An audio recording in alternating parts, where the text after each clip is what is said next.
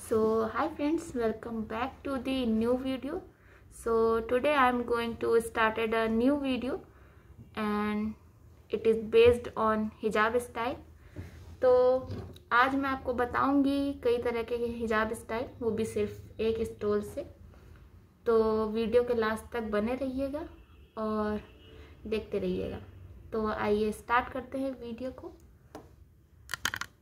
अबे, बंद हो गए तो सबसे पहले मैंने अपनी हिजाब कैप लगा ली है। तो इसको लगाने से ये होता है कि आपके जो हेयर्स होते हैं, वो आपके फेस पे नहीं आते हैं और आपके हेयर्स पूरी तरीके से कवर रहते हैं। तो आइए अपना हिजाब स्टाइल फ़र्स्ट बनाते हैं।